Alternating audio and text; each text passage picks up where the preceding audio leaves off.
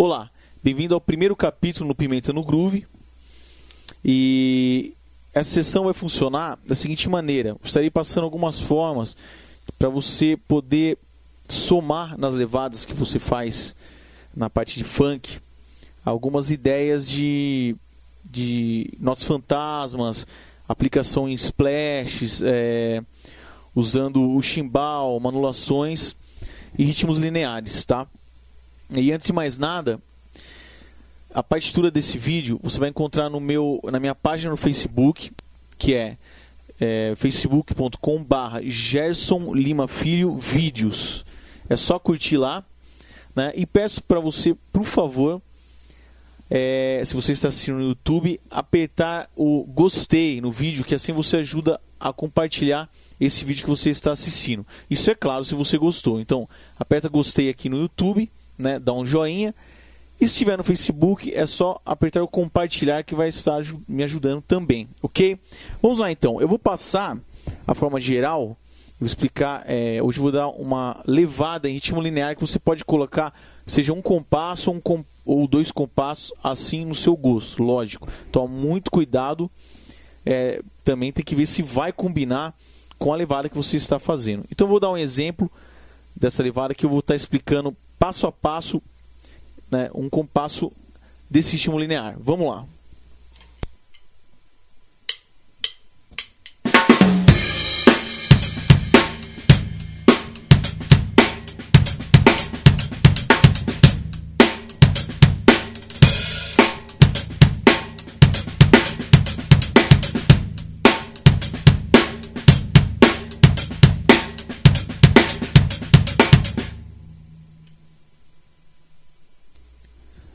Certo? Então essa é a levada. Esse, essa, esse lance do ritmo linear que você viu, se você não conhece, ritmo linear é quando você bate uma peça de cada vez, não batendo duas peças juntos, por exemplo, bombo, chimbal, caixa. Então, lentamente o que eu fiz, que é a parte que eu vou explicar, é essa daqui, ó.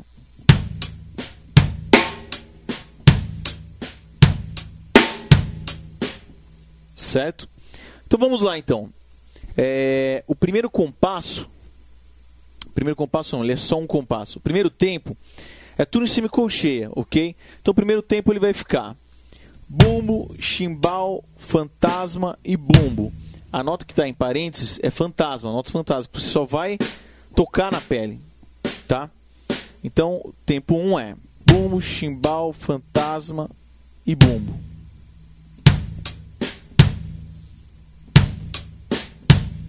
Ok? Segundo tempo, teremos caixa acentuada, você pode ver o sinal de maior, isso é acentuação. Então teremos caixa, chimbal, fantasma e bumbo.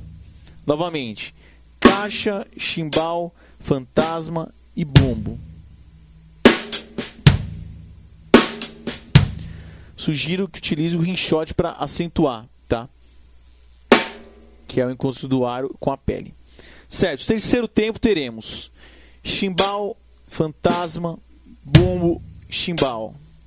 Novamente, chimbal, fantasma, bumbo, chimbal. Ficando.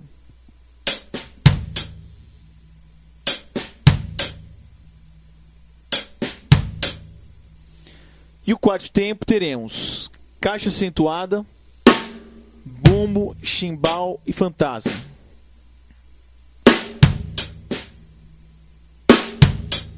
Acompanhe na partitura que você pegou aí no canal. Vamos juntar então lentamente, vamos fazer lentamente para você ver aí. Acompanhe. Vamos lá.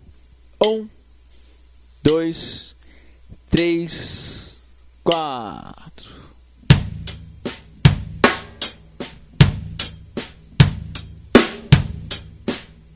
Novamente. Três, quatro.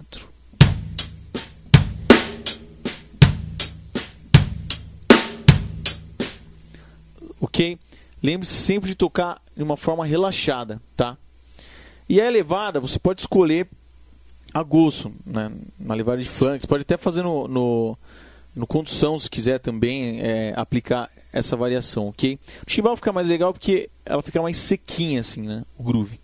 Então, vou fazer mais uma vez a aplicação para finalizar como que vai ficar com o groove numa forma lenta e depois eu vou aumentar a velocidade. Vamos lá.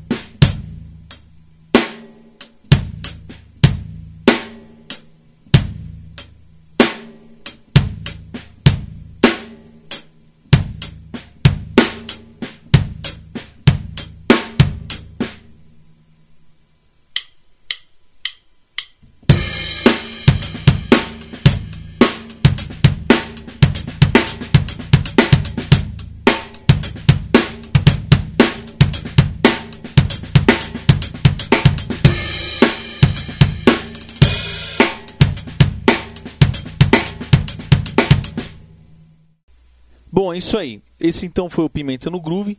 Espero que tenha gostado. Curtiu? Aperte aqui no YouTube, no joinha que é o gostei.